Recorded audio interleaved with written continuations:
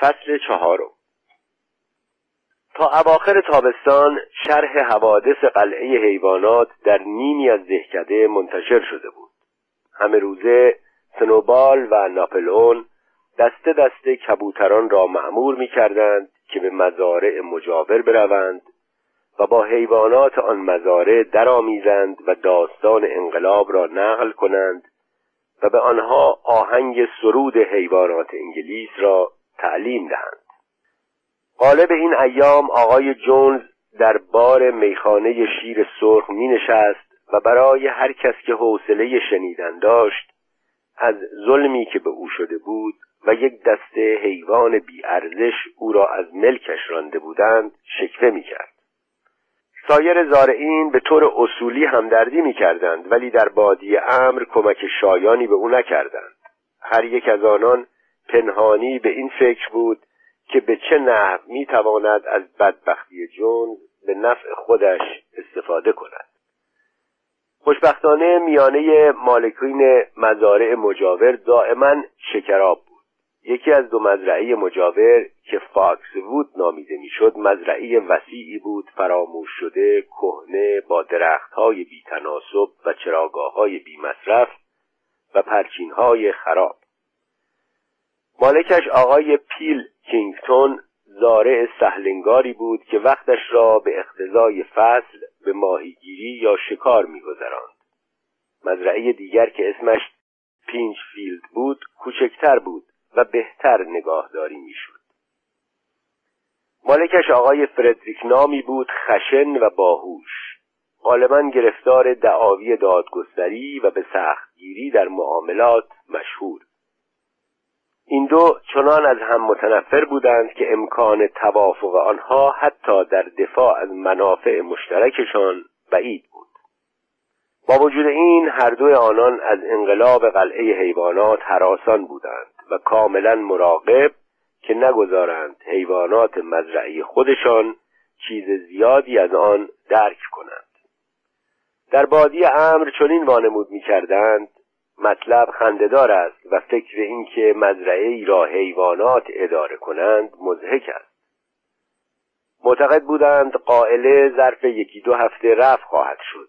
شایع کردند که در مزرعه مانور اصرار داشتند مزرعه را مانور بنامند و اسم قلعه حیوانات را نمی توانستند تحمل کنند.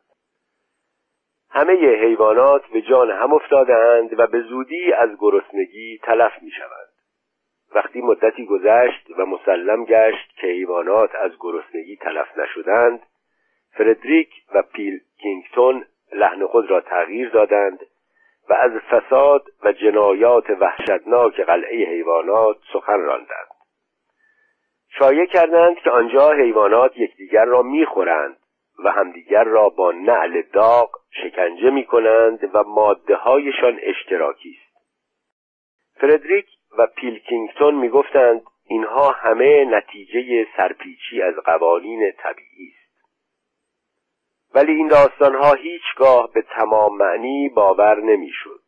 قصه مزرعه عجیبی که حیوانات بشر را از آن بیرون کردند و خودشان آن را اداره می کنند به صور و اشکال مبهم و گوناگون در حال اشاعه بود و در خلال آن سال موجی از تغیان و تمرد تمام حول و هوش را فرا گرفت. گاوهای نر که همیشه رام بودند یک مرتبه سرکش شدند. گوسفندها پرچینها را شکستند و به جان شبدرها افتادند. ماده گاوها با لگت سطلهای شیر را واژگون کردند و اسبهای شکاری از پرش از روی موانع سر باز زدند و سوارکاران را زمین زدند. از همه مهمتر همه جا آهنگ و حتی کلمات سرود حیوانات انگلیس را می‌دانستند. با سرعت سرسامآوری منتشر شده بود. آدمها با اینکه وانمود می‌کردند مطلب کاملا مسخره است نمی‌توانستند خونسردی خود را حفظ کنند. می‌گفتند چطور ممکن است حتی چارپایان حاضر شوند چون این آواز بیارزشی را بخوانند؟ هر حیوانی را که حین خواندن سرود دستگیر می‌کردند در محل به چوب میبستند. معزالک آواز قطع نمی‌شد.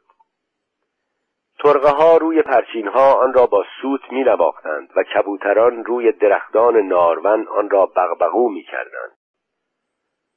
آهنگ در صدای چکش آهنگری و تنین زنگ کلیسا نیز نفوذ کرده بود و وقتی آدمها آن را میشنیدند بر خود میلرزیدند. زیرا آینده شوم خود را در آن می‌دیدند یکی از روزهای اوایل ماه اکتبر وقتی قله درو و انباشته شده بود و حتی مقداری از آن خرمنکوبی هم شده بود دسته ای از کبوتران میان هوا چرخی زدند و با هیجان و اضطراب فوقالعاده در حیات قلعه حیوانات فرود آمدند. جونز و کلیه آدمهایش به علاوه شش تن از مزرعه فاکس‌وود و پینچفیلد از دروازه پنج کلونه وارد شده بودند و از راه عرابه رو به سوی مزرعه می آمدند و همه غیر از جونز که پیشاپیش می آمد و تفنگی در دست داشت چماق و چوب داشتند مسلم بود که به منظور تسخیر مجدد قلعه می آیند.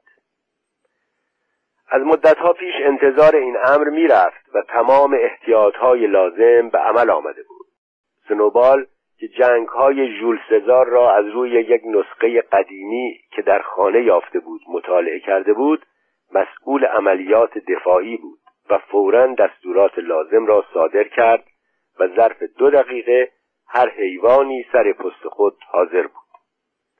به مجرد اینکه آدمها به مزرعه نزدیک شدند سنوبال اولین حمله را آغاز کرد. کبوترها که کل تعدادشان بالغ بر سی و پنج بود پرواز کنان در هوا روی سر مردم فضله انداختند. و هنگامی که آدمها سرگرم رفع این گرفتاری بودند اردک ها که پشت پرچین مخفی بودند حمله کردند و ماهیچه های پای آنها را با شدت منقار زدند. این قسمت در واقع فقط مانور کوچکی بود و صرفا به منظور ایجاد بینظمی مختصری طرح شده بود و آدمها به سهولت بازها را به وسیله چوب عقب راندند. سپس سنوبال به حمله دوم پرداخت. موریل و بنجامین و همه گوسفندان در حالی که سنوبال پیشاپیش آنان بود به جلو حمله ور شدند و از هر سو آدمها را شاخ و لگد می‌زدند و بنجامین پشتش را کرده بود و با سمهای کوچکش جفتک پرانی می‌کرد. این بار نیز قدرت آدمها با کفشهای میخدار و چوب دستی بیش از تحمل حیوانات بود. همه ناگهان با نعرهی که سنوبال کشید و به منزله علامت عقب نشینی بود برگشتند و از راهرو به حیات گریختند. آدمها فریاد پیروزی کشیدند. دشمنان را همانطور که انتظار داشتند در حال فرار دیدند و با بینظمی به تعقیب آنان پرداختند. این همان بود که سنوبال می‌خواست. به محض اینکه همه آنها به میان حیات رسیدند سه اسب سه ماده گاو و بقیه خوکها که در گاودانی کمین کرده بودند ناگهان از پشت آنها سر درآوردند و راه را بر آدمها بستند. سنوبال علامت حمله داد. خودش مستقیم به طرف جونز حمله برد. جونز او را دید و تفنگش را آتش کرد. ساچمه پشت سنوبال را خراش داد و گوسفندی کشته شد. سنوبال بدون لحظه درنگ هیکل صد کیلویی خود را روی پای جونز انداخت. جونز روی پهن نخ شد و تفنگ از دستش به سوی پرید. از این وحشتناکتر منظره باکسر بود که روی دو پای عقب برخواسته بود و با سم بزرگ نعلدارش بر سر و روی آدمها می‌زد. اولین ضربهش به جمجمه شاگرد مهتری گرفت که چون مرده روی گل افتاد. به دیدن این منظره چند نفر چوبها را انداختند و در مقام فرار برآمدند. وحشت همه را گرفته بود و حیوانات آنها را گرداگرد حیات میراندند. آدمها شاخ و لگد میخوردند گزیده و لگدکوب می‌شدند و در سراسر مزرعه حیوانی نبود که به شیوه خاص خود از آنها انتقامی نگیرد. حتی گربه قفلتا از روی بام بر شانه گاوچرانی جست و چنگالش را در گردن او فرو برد و نعره گاوچران را بلند کرد. به مجردی که مفری پیدا شد آدمها گویی از خدا خواستند و بیرون دویدند و به طرف جاده اصلی فرار کردند. بدین طریق پنج دقیقه بیشتر از حجومشان نگذشته بود که از راهی که آمده بودند مفتزهانه عقب نشستند. در حالی که اردک ها صدا کنان دنبالشان می‌کردند و ماهیچه های پاهاشان را نک می‌زدند. همه آدم ها رفتند جز یکی. پشت عیاد باکسر تلاش می‌کرد با سومش شاگرد مهتر را که با صورت تو گل افتاده بود برگرداند. ولی پسرک تکان نمی‌خورد. باکسر با تأثیر گفت مرده است. من نمی‌خواستم این کار را بکنم. به کلی از یاد برده بودم که نعل آهنین دارم. کی باور می‌کند که من در این کار تعمدی نداشتم. سنوبال که هنوز از جراحتش خون میچکید نعره زد. عاطفه و دلسوزی لازم نیست رفیق. جنگ جنگ است. فقط آدم مرده آدم خوب است. باکسر در حالی که اشک در چشمانش حلقه زده بود تکرار کرد من نمی‌خواهم جان هیچ کس حتی جان آدم را بگیرم. یکی از حیوانات با تعجب گفت پس مالی کجاست؟ در واقع از مالی اثری نبود. یک لحظه وحشت زیادی ایجاد شد. ترس این می‌رفت که نکند آدمها به طریقی به او آسیب رسانده باشند یا حتی او را با خود باشند. مالی را بالاخره در آخرش در حالی که سر را زیر یونجه ها مخفی کرده بود پیدا کردند. از همان لحظه شلیک تفنگ فرار کرده بود وقتی حیوانات پس از یافتن مالی برگشتند دیدند که شاگرد مهتر که در واقع بیهوش شده بود حالش به جا آمده و به چاک زده است. حیوانات با هیجان بسیار دوباره گرد هم جمع شدند. هر یک با اوج صدای خیش داستان هنرنمایی خود را در جنگ شهر می‌داد. بدون مقدمه جشنی به خاطر پیروزی برپا شد. پرچم بالا رفت و سرود حیوانات انگلیس چندین بار خوانده شد. بعد از گوسفند شهید تشییع مجللی به عمل آمد و بوته خاری بر مزارش قرص شد. سنوبال کنار قبر نطق کوتاهی ایراد کرد و به لزوم آمادگی همه حیوانات و در صورت ضرورت به جانفشانی در راه قلعه حیوانات تأکید کرد. حیوانات به اتفاق آرا تصمیم گرفتند که نشانی نظامی به اسم نشان شجاعت حیوانی درجه یک داشته باشند و آن را در همان وقت و همانجا به سنوبال و باکسر عطا کردند. مدال برنجی بود و در واقع از یراق اسبها در یراخانه به دست آمده بود. قرار شد مدال یک شنبه ها و روزهای تعطیل به سینه نصب شود. نشان شجاعت حیوانی درجه دویی هم تهیه شد و به گوسفند شهید عطا گشت. در اطراف اسم جنگ بحث زیادی شد و بالاخره آن را جنگ گاودانی نامیدند چون یورش از گاودانی شروع شد. تفنگ جونز را که روی گل مانده بود با فشنگ هایی که می‌دانستند در مزرعه به جا مانده است به مسابه مهمات در پای چوب پرچم گذاشتند و قرار شد تفنگ را سالی دو بار یک مرتبه در دوازدهم اکتبر سالگرد جنگ گاودانی و یک مرتبه در نیمه تابستان سال روز انقلاب شلیک کنند. فصل پنجم. هرچه زمستان پیش می‌رفت مزاحمت مالی زیادتر می‌شد. هر روز دیر سر کار می آمد به بهانه اینکه خواب مانده است و با آنکه اشتهایش خوب بود از دردهای مرموزی شکوه می کرد و به کوچکترین بهانه دست از کار می کشید و می‌رفت کنار استخر و با طرز ابلهانهای به تصویرش در آب خیره می‌شد. شایعات و حرفهای جدیتری هم در بین بود یک روز که مالی سلانه سلانه در حیات قدم می‌زد و با دم بلندش ور می‌رفت و ساقه یونجی را میجوید کلوور او را کنار کشید و گفت مالی مطلب مهمی است که باید با تو در میان بگذارم. امروز صبح من دیدم که تو به آن طرف پرچین که حد فاصل مزرعه ما و فاکس‌وود است نگاه می‌کردی و یکی از آدمهای پیل کینگتون سمت دیگر پرچین ایستاده بود. با آنکه راه دور بود من یقین دارم که دیدم او با تو حرف می‌زد و تو به او اجازه دادی که پوزه‌ات را نوازش کند. مالی برای این کارت چه توضیحی می‌توانی بدهی؟ مالی در حالی که سم بر زمین میکوفت و به اطراف میجست فریاد کشید پوزه مرا نوازش نکرد من چون این کاری نکردم اصلا حقیقت ندارد.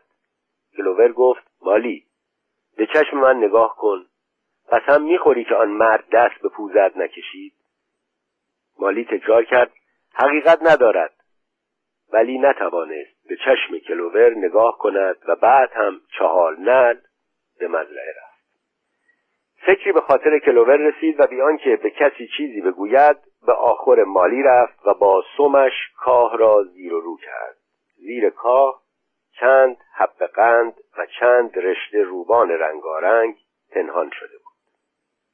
سه روز بعد مالی ناپدید شد و تا چند هفته از محل او خبر و اثری نبود. تا آنکه کبوتران گزارش دادند که او را آن طرف بلینگدن جلوی در میخانه ای دیدند که بین مالبندهای عرابه قرمز و سیاهی ایستاده و مرد سرخ چهره چاقی که شلوار پیچازی پوشیده بود و شبیه مهمانخانه چیها بود دست به پوزش می‌کشید و قند دهانش میگذاشت. تازه قشو شده بود و روبانی بنفش به کاکلش بسته بودند و کبوتران می‌گفتند از ظاهرش پیدا بود که از وضعش راضی از آن پس حیوانات دیگر اسمی از مالی نبردند. در ژانویه هوا خیلی سرد شد. زمین مزرعه چون سنگ سفت بود و هیچ کاری در مزرعه پیش نمی‌رفت جلسات متعددی در طویله تشکیل شد و خوکها سرگرم طرح نقشه کار فصل آینده بودند. پذیرفته شده بود که خوکها که به وضوع از دیگر حیوانات زیرکتر بودند تمام تصمیمات را درباره خط مشی مزرعه بگیرند. ولی این تصمیمات و اکثریت آرا تصویب شود. اگر بگو مگوهای بین سنوبال و ناپلئون نبود این ترتیب مناسب بود. اما این هر دو هر وقت امکان داشت با هم مخالفت کنند مخالفت می‌کردند. اگر یکی از آن دو پیشنهاد می‌داد جو به میزان بیشتر کاشته شود دیگری می‌گفت جو صحرایی بیشتر کاشته شود. و اگر یکی می‌گفت که فلان مزرعه برای کشت کلمپیچ مناسب است دیگری می‌گفت آن زمین فقط مناسب کشت چقندر است. هر کدام پیروانی داشتند و مباحثات سختی در می گرفت. در جلسات معمولا سنوبال برنده اکثریت آرا بود چون خوب حرف می‌زد. اما ناپلون خارج از جلسات موفقتر بود. مخصوصا در گوسفندان نفوذ بسیاری داشت. این اواخر گوسفندها یاد گرفته بودند که با بعبع چهار پا خوب دو پا بد به جا و بیجا جلسات را برهم زنند. مخصوصا در لحظات حساس نطق سنوبال بیشتر بعبع چهار پا خوب دو پا بد بلند می‌شد سنوبال چند شماره قدیمی مجله برزگر و دامدار را به دقت مطالعه کرده بود که پر از طرح و نقشه برای توسعه و عمران مزرعه بود در اطراف زهکشی و کود شیمیایی آلمانه صحبت می کرد و برای صرفه‌جویی در کار نقشه بغرنجی تهیه دیده بود که طبق آن حیوانات مدفوع خود را هر روز در یک نقطه مشخص از مزرعه می ریختند. ناپلون از خود طرحی نداشت و فقط به آرامی می گفت که طرح و نقشه های سنوبال به جایی نمی رسد و پیدا بود که منتظر فرصت مناسبی است. ولی هیچ یک از کشمکش های آن دو به شدت اختلافی که سر آسیاب بادی پیدا کردند نبود. در چراگاه در محلی که از ساختمان مزرعه زیاد دور نبود پشته بود که مرتفع ترین نقطه قلعه بود و سنوبال پس از بررسی کامل اعلام داشت این محل برای برپا کردن یک آسیاب بادی که بتواند مولد برق را به کار اندازد و به مزرعه نیروی برق بدهد مناسب است. با این کار آخرها روشنایی خواهد داشت. در زمستان گرم خواهد بود. به علاوه اره مکانیکی ماشین خرمنکوبی و چقن در خورد کنی و دستگاه برقی شیردوشی را هم می‌توان به کار انداخت. حیوانات راجع به چنین چیزهایی هرگز نشنیده بودند چون مزرعه قدیمی بود و فقط وسایل ابتدایی داشت. و با تعجب گوش کردند و سنوبال هم عکس این ماشین های غریب را که کار آنها را برایشان می‌کرد و به آنها فراغت می‌داد که به راحتی بچرخند یا با خواندن و حرف زدن سطح فکرشان را بالا ببرند نشانشان داد. نقشه های سنوبال برای آسیاب بادی ظرف چند هفته تکمیل شد. اطلاعات مکانیکی آن از سه کتاب به اسامی هزار کار مفید مربوط به خانه همه می توانند معمار باشند و برق برای مبتدیان که مال آقای جونز بود به دست آمده بود. سنوبال اتاقی را که زمانی جایگاه ماشین های جوجه کشی بود و کف چوبی صاف داشت و برای نقشه کشی مناسب بود محل کار خیش قرار داد. ساعتها کتابهایش را به وسیله قطع سنگی باز نگه می داشت و تکه گچی بین مفاصل پاچش می گرفت و در را به روی خود می بست. به سرعت از سمتی به سمتی می رفت و خطوطی یکی پس از دیگری رسم می کرد و از شعف و شادی زوزه می کشید. نقشه به تدریج به صورت خطوط در همه هندل ماشین و چرخهای دنداندار بیش از نیمی از کف زمین را اشغال کرد. این خطوط برای سایر حیوانات نامفهوم بود ولی آنها را کنجکاو می‌کرد.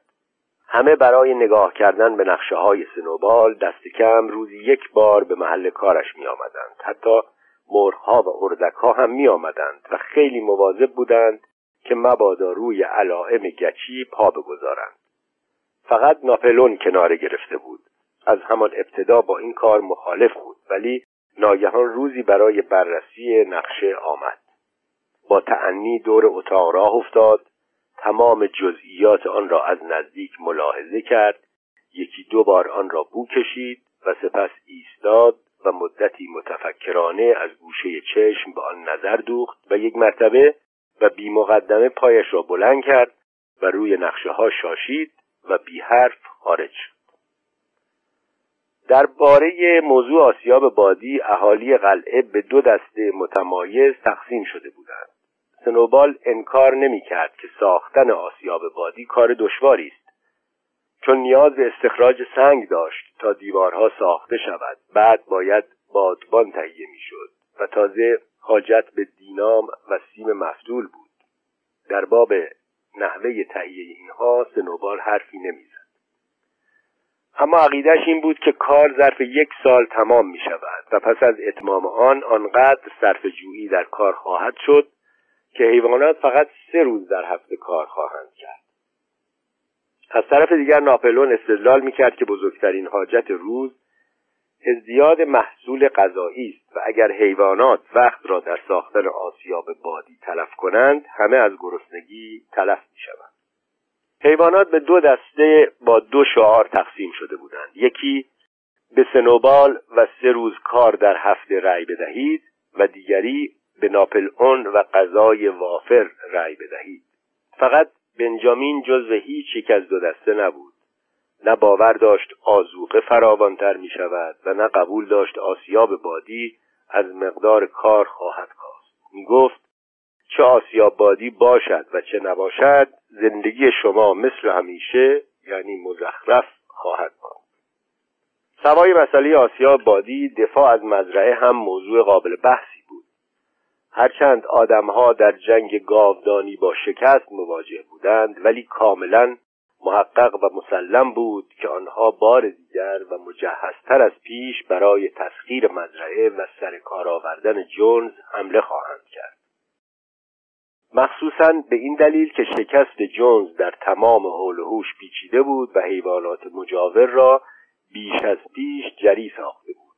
آدمها ناگزیر از حمله مجدد بودند. طبق معمول در این امر نیز سنوبال و ناپلون توافق نظر نداشتند. نظر ناپلون این بود که باید سلاح آتشی داشت و طرز استعمال آن را یاد گرفت. و نظر سنوبال این بود که باید کبوترهای بیشتری به خارج اعزام کرد تا انقلاب را بین حیوانات سایر مزارع دامن بزنند. آن استدلالش اینکه اگر حیوانات قادر به دفاع از خود نباشند مغلوب خواهند شد و این استدلالش اینکه اگر در سایر نقاط انقلاب رخ دهد آنها دیگر حاجتی به دفاع از خیش ندارند. حیوانات اول به ناپلون گوش دادند و بعد به سنوبال ولی نمی توانستند تشخیص دهند که کدام یک از دو نظر صحیح است. در واقع در هر لحظه با آن کسی موافق بودند که در آن لحظه مشغول صحبت بالاخره نقشه های سنوبال تکمیل شد. قرار شد در جلسه روز یکشنبه بعد مسئله ساختن یا نساختن آسیاب بادی برای اتخاذ رأی مطرح شود. وقتی حیوانات در طویله جمع شدند سنوبال برخاست و با اینکه گاه به گاه بیاناتش با بعبع گوسفندان قطع می‌شد دلایل خود را بر له ساختن آسیاب بادی عرضه کرد. بعد ناپلون برای جواب به پا خواست در نهایت آرامش گفت که آسیاب بادی چیز مزخرفی است و توصیه کرد که کسی به ساختنش رأی ندهد و با عجله نشست. نطخش بیش از سی ثانیه طول نکشید و به نظر می آمد که برای تأثیر بیانش تقریبا اهمیتی قائل نیست. بعد سنوبال برخاست و پس از نهیب به گوسفندان که باز بعبع می کردند با حرارت از آسیاب بادی سخن گفت. تا این وقت حیوانات به دو دسته مساوی تقسیم شده بودند. اما در یک لحظه فساحت سنوبال این تعادل را برهم زد. با جملاتی پر آب و تاب تصویری از آن روز که کارهای پست از گرده حیوانات برداشته می‌شد مجسم ساخت. کار را از ماشین خرمنکوبی و شلقم خورد کنی هم جلوتر برده بود. می گفت نیروی برق می تواند ماشین خرمن پاک کنی را به کار اندازد. زمین را شخم بزند مخاله ها را خرد کند و زمین را صاف و خرمن را درو کند. به علاوه در آخرهای حیوانات روشنایی آب سرد و گرم و بخاری برقی خواهد. وقتی که نطقش به پایان رسید دیگر شک و تردیدی نبود که کفه رأی به کدام طرف متمایل است. اما در این لحظه ناپلون برپا خواست. از گوشه چشم نگاهی به سنوبال انداخت و صدای محسوسی کرد که تا آن روز از او شنیده نشده بود. در اثر این صدا اوعوی وحشتناکی از خارج شنیده شد و نه سگ عظیم که قلاده برنج کوب به گردنشان بود جست و خیز کنان میان انبار پریدند و مستقیم به سنوبال حمله بردند. اگر سنوبال به موقع نجنبیده بود شکمش پاره می‌شد. لحظه بعد سنوبال بیرون در بود و سگها دنبالش. حیوانات که از تعجب و وحشت زبانشان بند آمده بود همگی جلوی در جمع شدند و بهت زده سنوبال و سگها را نگاه می‌کردند. سنوبال در طول چمن و به سمتی که به جاده اصلی منتهی می‌شد در حال دویدن بود. فقط یک خوک می‌توانست آنطور بدود. ولی سگها هم تقریبا پشت پاشنش میدویدند. ناگهان سنوبال لغوید و همه تصور کردند الان است که سگها او را بگیرند.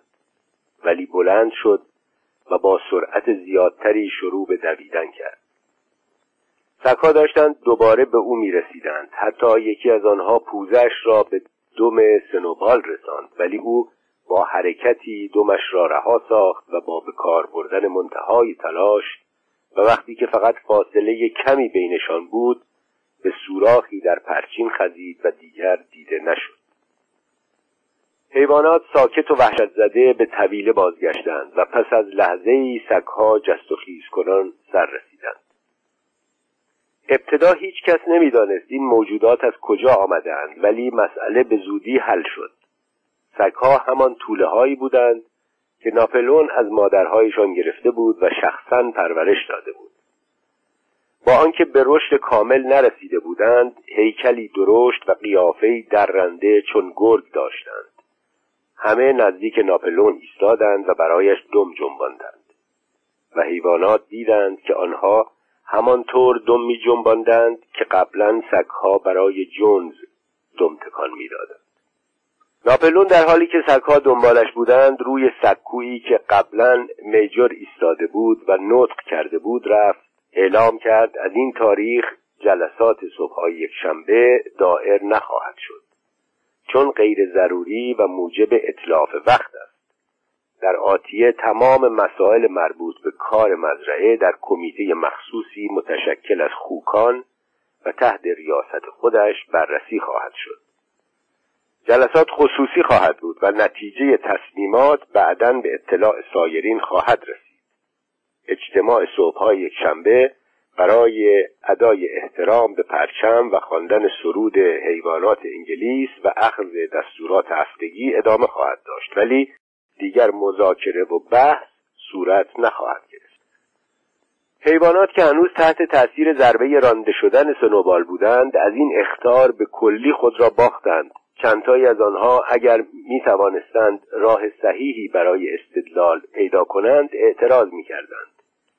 ولی باکسر به طرز مبهمی ناراحت بود. گوشهایش را خواباند و کاکلش را چندین بار تکان داد و سخت تلاش کرد که به افکارش نظمی دهد ولی بالاخره چیزی به ذهنش نرسید. از بین خود خوکها چندتایی به صدا درآمدند. چهار طول خوک پرواری که در صف جلو بودند به علامت اعتراض با هم بلند شدند و با هم شروع به صحبت کردند. ولی ناگهان سگها که دور ناپلون بودند قرشی تهدیدآمیز کردند و خوکها را ساکت سر جایشان نشاندند.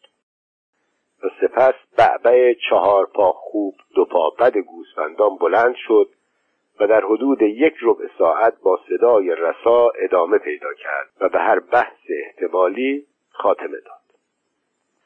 بعد سکویلر معمولیت یافت که دور بگردد و نظم نوین را به همه گوش زد سازد. سکویلر گفت رفقا من قطع و یقین دارم که همه حیوانات حاضر از فداکاری رفیق ناپلون که حالا مسئولیت بیشتری را بر عهده گرفته است قدردانی به عمل می آورند رفقا تصور نکنید پیشوا بودن لذت بخش است. درست برعکس کاری است. بسیار دقیق و پرمسئولیت.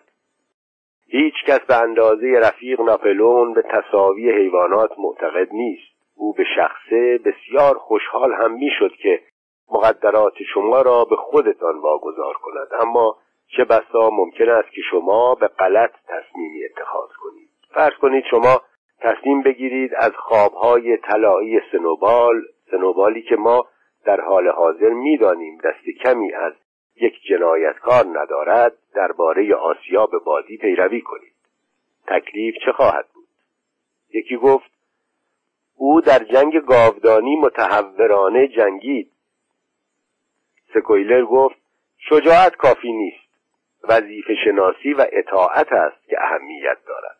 و اما در خصوص جنگ گاودانی من یقین دارم زمانی خواهد آمد که متوجه شویم نسبت به نقش سنوبال در این جنگ بسیار مبالغه شده است.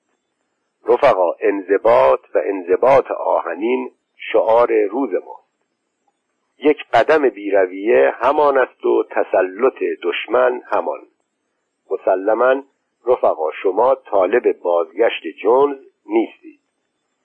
بار دیگر این بحث جوابی نداشت چه محققا حیوانات طالب بازگشت جونز نبودند. اگر لازمه بحث یک شنبه ها بازگشت جونز بود بحث باید موقوف می‌شد. باکسر که تا این وقت فرصت داشت و افکارش نظمی دهد به نمایندگی از طرف احساسات عمومی گفت اگر رفیق ناپلون چنین گفته است مسلما صحیح است. و از این تاریخ باکسر شعار همیشه حق با ناپلون است را بر شعار خصوصی من بیشتر کار خواهم کرد اضافه نمود. تو که سرما دیگر شکسته بود و کشت بهاری شروع شده بود.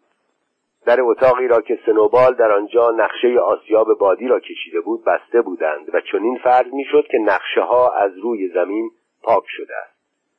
هر یک شنبه صبح ساعت ده حیوانات برای اخذ دستورات هفتگی جمع می شدند جمجمه میجر پیر را که اسکلتی از آن باقی مانده بود از پای دیوار باغ میوه از قبر درآورده بودند و روی کنده درختی در پای میله پرچم کنار تفنگ گذاشته بودند و چنین مقرر شده بود که پس از برافراشتن پرچم حیوانات قبل از دخول به انبار بزرگ با احترام از جلوی آن رژه روند. در این ایام طرز نشستن حیوانات چون سابق که دور هم می نشستند نبود. ناپلون و سکویلر و خوک دیگری به نام مینیماس که در ساختن آهنگ و سرودن شعر غریزه ای داشت روی سکو می نشستند و نه سگ نیم دایره دور آنها تشکیل می‌دادند و سایر خوکها پشت سر آنان قرار داشتند. بقیه حیوانات مقابل آنها و در وسط انبار می نشستند ناپلون دستورات هفتگی را با صدایی خشن و سربازوار می‌خواند و حیوانات پس از یک بار خواندن سرود حیوانات انگلیس متفرق می شدند. در یک شنبه سوم بعد از اخراج سنوبال حیوانات در کمال تعجب شنیدند که ناپلون اعلام داشت که آسیاب بادی ساخته می شود. او برای تغییر عقیدهش دلیلی ابراز نداشت و صرفا به حیوانات گوشزد کرد که این امر مستلزم کار فوقالعاده است و چه بسا منجر به تقلیل جیره آنان شود و گفت نقشه کار با تمام جزئیات آن ظرف سه هفته گذشته به وسیله کمیته مخصوصی از خوکان تهیه شده و امید است بنای آسیاب بادی و آبادی های دیگر ظرف دو سال تمام شود. همان روز عصر سکویلر به حیوانات به طور خصوصی اظهار داشت که ناپلون در حقیقت هیچگاه با آسیاب بادی مخالف نبود بلکه برعکس از بد و امر طرفدار آن بود. نقشه که سنوبال در کف اتاق جوجه کشی رسم کرده بود در واقع از بین نوشتجات ناپلون به سرقت برده بود و در حقیقت آسیاب بادی از اختراعات شخص ناپلون بود. است و وقتی یکی از حاضرین سوال کرد پس چطور ناپلون با آن سرسختی با آن مخالفت می‌کرد؟ سکویلر نگاه شیطنت آمیزی کرد و گفت زرنگی ناپلون بود. فقط تظاهر به مخالفت با آسیاب بادی می‌کرد تا از شر سنوبال که عنصر بسیار خطرناکی بود رهایی پیدا کند. و حالا که سنوبال از سر راه برداشته شده نقشه بدون دخالت وی می‌تواند عملی شود. همچنین اضافه کرد این همان چیزی است که به آن تاکتیک می‌گویند. در حالی که میچرخید و دمش را میجنباند چندین بار تکرار کرد تاکتیک رفقا تاکتیک. حیوانات درست معنی کلمه را نفهمیدند اما سکویلر چنان قرص و محکم حرف زد و سگها که تصادفاً با وی بودند چنان قررش تهدیدآمیزی کردند که همگی توضیحات وی را بدون چون و چرا پذیرفتند. فصل ششم. تمام آن سال حیوانات مثل برده کار کردند اما راضی بودند و از هیچ کوشش و فداکاری مزایقه نمی کردند. چون خوب می دانستند هر تلاشی می کنند به نفع خود و برای نسل آینده خودشان است نه به نفع یک دست بشر دزد و تنبل. در تمام بهار و تابستان هفته شست ساعت کار کردند و در ماه اوت ناپلون اعلام کرد که بعد از ظهرهای یک شنبه هم کار هست. این کار البته داوطلبانه است اما اگر حیوانی غیبت کند جیرش نصف می شود. با این وصف از بعضی کارها صرف نظر شد. خرمن به میزان سال گذشته جمع نشد و دو مزرعه چقندر به این دلیل که شخم زمین به موقع آماده نبود کشت نشد. پیش بینی می‌شد که زمستان آینده زمستان سختی باشد. آسیاب بادی با اشکالات غیرمنتظره مواجه شد. در خود مزرعه سنگ آهک وجود داشت. مقداری هم ماسه و سیمان از سابق در یکی از حیاتهای طویله بود. یعنی تمام مصالح ساختمانی در دسترس بود. اما مسئله که حیوانات در ابتدا نتوانستند حل کنند شکستن سنگ به قطعات و اندازه های متناسب بود. به نظر می رسید که تنها راه شکستن سنگ ها به وسیله کلنگ و دیلم است و این کار را هم هیچ حیوانی نمی توانست بکند چون نمی توانست روی دو پای عقب بایستد پس از هفته ها کوشش بی حاصل یکی فکر بکری کرد. قرار شد از قوه جاذبه زمین استفاده کنند. دور سنگ های بزرگ و صافی که به دلیل بزرگی قابل استفاده نبود تناب بستند و همه حیوانات گاوان، اسبان، گوسفندان و هر حیوان دیگری که تاب نگه داشتن تناب را داشت حتی در لحظات حساس خود خوکها آن را با کندی معیوس کننده ای از دامنه به بالای تپه میکشیدند و از آنجا رها می‌کردند تا خرد شود حمل و نقل سنگ پس از خرد شدن زیاد مشکل نبود. اسبها قطعات سنگ را در عرابه های باری حمل می‌کردند و گوسفندها خرد سنگ ها را یکی یکی میکشیدند. حتی موریل و بنجامین خود را به عرابه سبکی بسته بودند و سهمی در کار داشتند. در اواخر تابستان مقدار کافی سنگ جمع و ذخیره شد و ساختمان تحت نظارت قوکها شروع شد. اما کار کند پیش می‌رفت و دشوار بود. بسیاری از اوقات یک روز تمام صرف این می‌شد که قطع سنگی را بالا بکشند و تازه بعضی اوقات سنگی که از آن بالا رها می‌شد نمیشکست. هیچ کاری بدون وجود باکسر که نیرویش معادل مجموع نیروی بقیه حیوانات بود به ثمر نمی‌رسید. وقتی سنگ میلغزید و حیوانات می‌دیدند الان است که خودشان هم به پایین پرت شوند و از نومیدی فریاد و فقانشان به هوا می‌رفت. همیشه باکسر بود که خود را مقابل تناب نگاه می داشت و سنگ را متوقف می کرد قیافه او که وجب به وجب دامنه را با زحمت میپیمود و نفس نفس می‌زد و با نوک سمش به زمین پنجه می‌کشید و دو پهلویش از عرق پوشیده بود منظره ای بود که هر کسی را مالامال از تعجب و تحسین می‌کرد. کلوور گاه به او گوش زد می‌کرد که به خود زیاد فشار نیاورد اما او گوش نمی‌داد. از نظر او دو شعار من بیشتر کار خواهم کرد و همیشه حق با ناپلون است جوابگوی هر مسئله ای بود. با جوجه خروس قرار گذاشته بود صبحها او را به جای نیم ساعت سه ربع ساعت زودتر بیدار کند. با آنکه در این روزها کمتر فراغت داشت هرگاه فرصتی پیدا می‌کرد به تنهایی به کنار تپه سنگ می‌رفت و بدون کمک کسی یک بار سنگ خرد را به نزدیک محل ساختمان حمل می‌کرد. با وجود سختی کار وضع حیوانات در طول تابستان چندان بد نبود. اگر از زمان جونز قوت بیشتری نداشتند کمتر هم نداشتند. این امتیاز که باید فقط غذای خود را تهیه کنند و ناگزیر نبودند. پنج آدم حریس را هم سیر کنند. آنقدر مهم بود که جبران کمبودهای دیگر را می‌کرد. در خیلی از امور طرز کار حیوانات کاملتر و عملیتر از آدمها بود و از میزان کار میکاست مثلا علفکنی چنان کامل صورت می گرفت که مسلما بشر از عهدهش بر نمی آمد و یا چون هیچ حیوانی دزدی نمی‌کرد دیگر حاجتی به کشیدن دیوار و جدا کردن چراگاه از زمین کشت نبود. بنابراین حفظ و نگهداری پرچین و غیره لازم نبود. مغازا وقتی تابستان سپری شد کمبودهای پیش بینی نشده ای نمودار شد. نفت میخ ریسمان بیسکویت سگ آهن برای نعل اسب مورد نیاز بود و هیچ کدام را نمی‌شد در مزرعه تهیه کرد.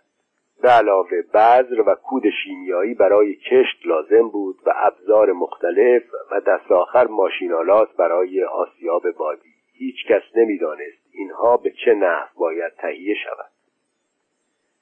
یک یک شنبه صبح که ایوانات برای اخذ دستور جمع شده بودند. ناپلون اعلام داشت که سیاست جدیدی اتخاذ کرده است. از این تاریخ به بعد قلعه حیوانات با مزارع مجاور داد و ستد خواهد کرد.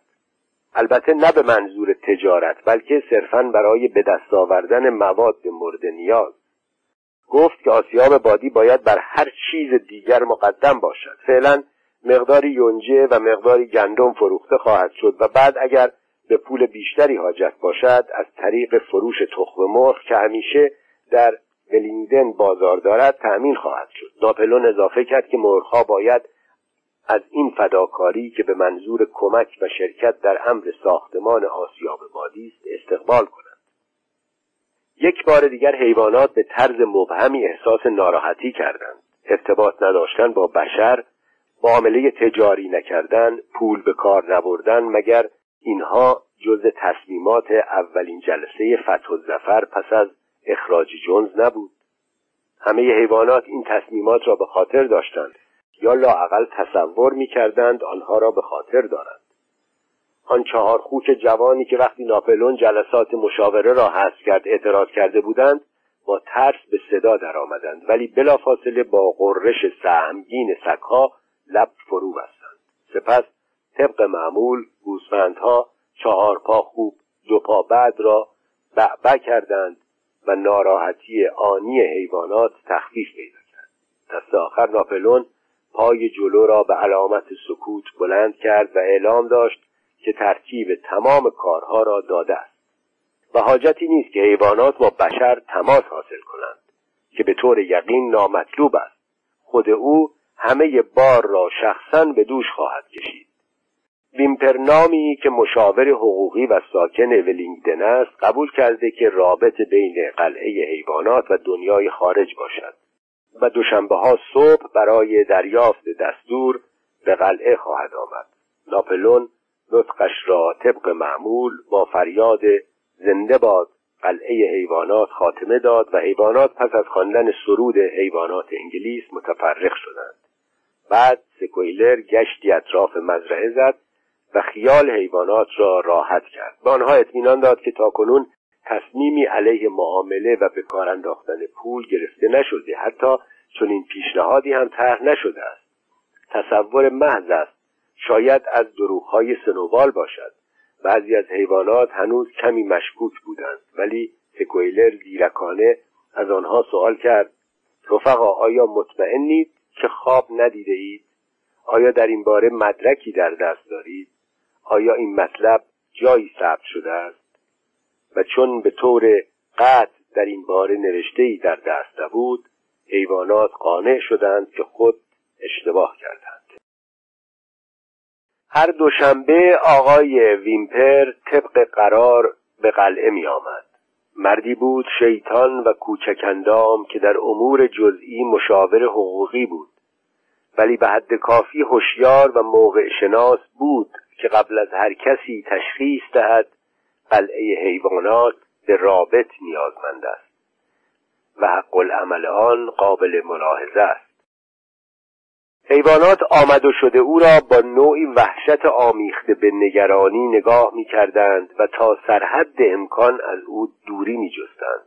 با این وصف دیدن ناپلون چهارپا که به ویمپر دوپا امر و نهی می کرد غرور آنها را تحریک می گرد و نگرانی ها را تا حدی جبران می نمود.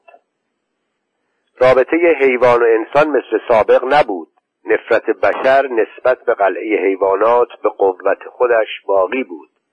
بشر هنوز ایمان داشت که قلعه دیر یا زود به ورشکستگی خواهد افتاد. راجع به آسیاب نظرشان این بود که به جایی نخواهد رسید. آدمها در میخانه ها جمع می شدند و با نقشه برای یکدیگر ثابت می کردند که آسیاب بادی خراب خواهد شد و تازه اگر خراب نشود قابل استفاده نخواهد بود. مزالک برخلاف میل باطنی خیش برای حیوانات که قادر به اداره امور خیش شده بودند احترامی قائل بودند. یکی از بروزات مطلب این بود که آنها به تدریج مزرعه را به اسم قلعه حیوانات میخواندند و دیگر به آن مزرعه مانر نمی‌گفتند به علاوه از جونز هم که دیگر امیدی به برگشت به مزرعه نداشت و به قسمت دیگری رفته بود پشتیبانی نمی کردند. سوای ویمپر بین قلعه حیوانات و دنیای خارج رابطه ای وجود نداشت اما مرتب این شایعه وجود داشت که ناپلون قصد دارد قرارداد قاطعی یا با آقای پیلکینگتون مالک فاکس وود و یا با آقای فردریک مالک پینچفیلد ببندد. ولی هیچگاه صحبت معامله با هر دو آنها در آن واحد در میان نبود. همین مواقع بود که خوکها ناگهان به ساختمان مزرعه نقل مکان کردند و آنجا را اقامتگاه خود ساختند. باز به نظر حیوانات چنین رسید که روزهای اول تصمیمی جز این اتخاذ شده بود و باز سکویلر توانست آنها را متقاعد کند که چنان نبوده است. گفت خوکها که مغز متفکر مزرعه هستند نیاز به جای آرام و دنج دارند. به علاوه مناسب با شعن پیشواست اخیرا ناپلون را با عنوان پیشوا خطاب می‌کردند. به علاوه مناسب با شعن پیشواست در خانه ساکن باشد نه در خوکدانی. با تمام این مراتب بعضی از حیوانات از شنیدن اینکه خوکها نه فقط غذا را در آشپزخانه صرف می کنند و اتاق پذیرایی را به تفریح خود اختصاص دادهاند بلکه روی تخت هم میخوابند مضطرب و نگران بودند. باکسر طبق معمول با شعار همیشه حق با ناپلون است مطلب را درد می گرفت ولی کلوور که فکر می کرد به خاطر دارد که تخت خواب صریحا تحریم شده است به انبار رفت و سعی کرد معمای هفت فرمان را که روی دیوار ثبت بود حل کند. ولی چون فقط می توانست حروف منفصل را بخواند سراغ موریل رفت و گفت موریل ماده چهارم فرمان را برایم بخوان. در این فرمان گفته نشده که روی تخت نباید خوابید. موریل با کمی اشکال آن را خواند و بالاخره گفت این ماده می‌گوید هیچ حیوانی با شمد بر تخت نمیخوابد. عجیب بود که کلوور نتوانست به خاطر بیاورد که در ماده چهارم فرمان اسمی از شمد برده شده باشد. ولی چون این کلمه بر دیوار ثبت بود لابد باید چنان بوده باشد. سکویلر که بر حسب تصادف با سه سگ از آنجا میگذشت توانست قضایا را روشن کند. گفت رفقا البته شنیده اید که ما خوک ها در حال حاضر روی تخت خواب میخوابیم و چرا که نخوابیم. قطعا فکر نمی کنید که قانونی در تحریم تخت وجود دارد. تخت خواب به طور ساده جایی است که روی آن میخوابند. و اگر خوب دقت کنید متوجه می‌شوید که کاه طویله هم تخت خواب است. قانون استفاده از شمد را که اختراع انسانی است تحریم کرده و ما شمدها را برداشته ایم و لای پتو میخوابیم. تختها کاملا راحتند اما نه زیاده بر حدی که ما بعد از کارهای فکری به آن نیازمندیم. رفقا شما مسلما در مقام سلب راحتی از ما نیستید. و قطعا نمی‌خواهید که ما چنان خسته شویم که از وظایفمان باز بمانیم. و به طور یقین هیچ یک از شما طالب بازگشت جونز نیست. حیوانات دوباره در این باره به وی اطمینان دادند و دیگر در اطراف خوابیدن خوک ها روی تخت سخنی به میان نیامد. و حتی وقتی مدتی بعد اعلام شد که خوک ها از این پس یک ساعت دیرتر از سایر حیوانات از خواب برمیخیزند کسی اعتراضی نکرد. در پاییز حیوانات خسته ولی خوشحال بودند. سال سختی را گذرانده بودند و پس از فروش مقداری یونجه و غله ذخیره غذایی برای زمستان چندان زیاد نبود اما آسیاب بادی همه را جبران می‌کرد. پس از برداشت خرمن چندی هوا خشک و صاف بود و حیوانات که فکر می‌کردند حتی یک وجب بالا بردن دیوارهای آسیاب بادی ارزش تحمل هر رنجی را دارد بیش از پیش زحمت کشیدند. باکسر حتی شب بیرون می آمد و در روشنایی ماه یکی دو ساعتی از وقت خود را صرف کار می کرد حیوانات در لحظات فراغت دور آسیاب بادی نیمه تمام راه می رفتند استحکام و قائم بودن دیوارهای آن را تحسین می کردند و از اینکه موفق شدند چون این بنای با عظمتی بسازند در شگفت می شدند فقط بنجامین بود که درباره آسیاب بادی شور و شعف نشان نمی‌داد و طبق معمول با طرز اسرارآمیزی می‌گفت خرها عمر طولانی دارند. ماه نوامبر با باد سختی سر رسید و کار ساختمان به علت باران متوقف شد. چون امکان ساختن سیمان نبود. بالاخره شبی باد چنان سخت وزید که بناهای مزرعه از پی تکان خورد و از بالای بام انبار سوفالی به پایین افتاد.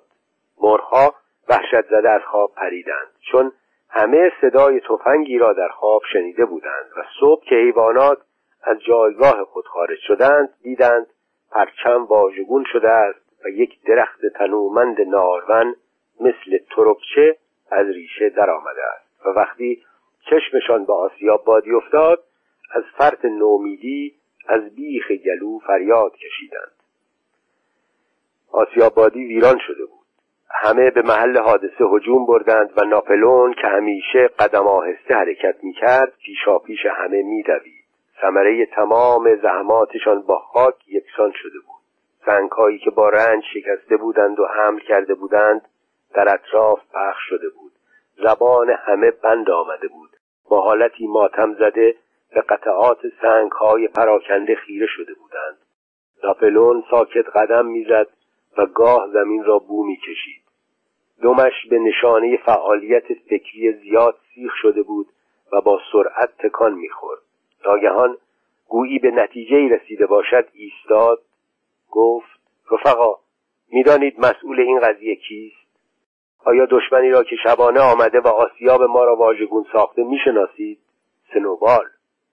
و ناگهان با قرشی رعداسا ادامه داد سنوبال این کار را کرده. این خائن صرفا به فکر عقیم گذاشتن نقشه ما و برای انتقام جویی از اخراج شرماورش در زیر نقاب تاریکی اینجا آمده و زحمات یک ساله ما را به باد داده است. رفقا همین الان و در همین محل من حکم اعدام سنوبال را صادر و اعلام می کنم نشان درجه دوم حیوانی و نیم کیلو سیب جایزه هر حیوانی است که عدالت را درباره او اجرا کند و یک کیلو سیب جایزه کسی است که او را زنده دستگیر سازد. حیوانات از اینکه موجودی حتی سنوبال می‌تواند تا این پای بزهکار باشد سخت متأثر شدند و فریادی از خشم برآوردند و همه به این فکر افتادند که در صورت مراجعتش به چه نحو او را دستگیر سازند. تقریبا بلافاصله رد پای خوکی در چمن پیدا شد. رد پا چند متری ادامه داشت و مثل این بود که به سوراخی در پرچین منتهی می‌شد. ناپلون رد پا را بو کرد و اعلام داشت که جای پای سنوبال است و گفت محتملا از سمت مزرعی وود آمده است. ناپلون پس از امتحان رد پا فریاد کشید رفقا دیگر جای درنگ نیست باید تلاش کرد. ما از همین امروز شروع به تجدید بنای آسیابادی می‌کنیم و در سراسر زمستان هم از اینکه هوا آفتابی باشد یا بارانی می‌سازیم. تا به این خائن بدتینت بیاموزیم که به آسانی نمی‌توان کار ما را خونساز ساخت. رفقا به خاطر بسپارید که در نقشه ما نباید هیچ تغییری راه یابد و برنامه باید سر موعد تمام شود. رفقا به پیش. زنده باد آسیاب بادی. پاینده باد قلعه حیوانات.